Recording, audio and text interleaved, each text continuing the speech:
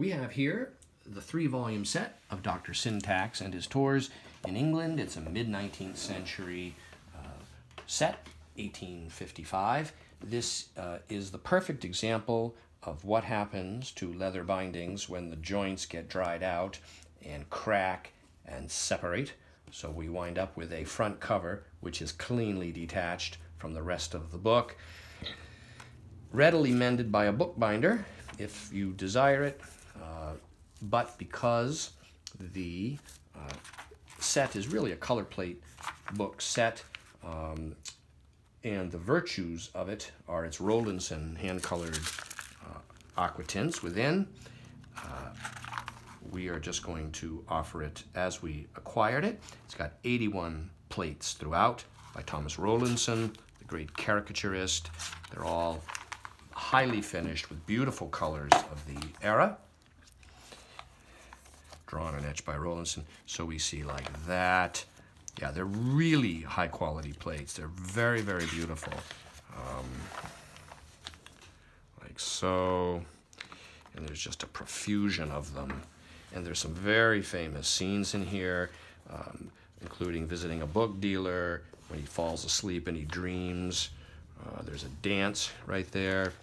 Yeah, it's quite funny. There, even today, when you read, if you read uh, the the story is told in verse, it's very witty and very brilliant, and and and retains a lot of its humor, actually.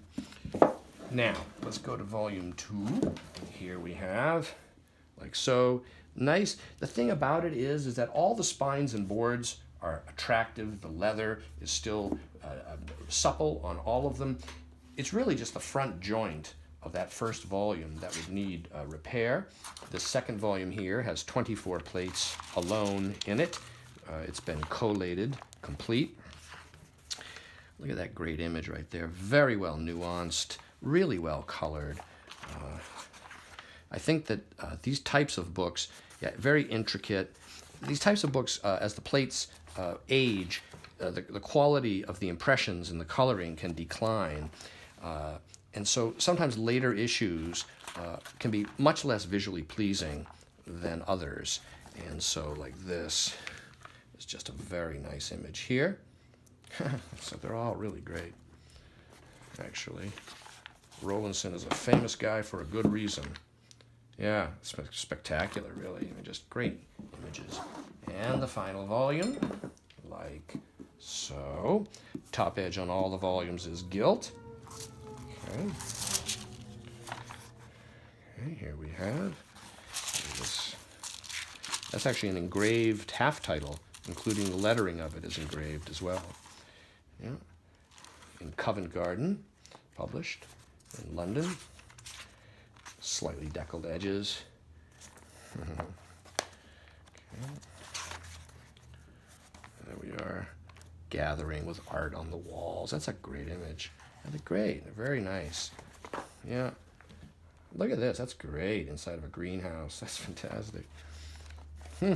Drinking. Ha look at that. In like a like a pub or something. And so this three volume set is now available online from me, Brian DiMambro.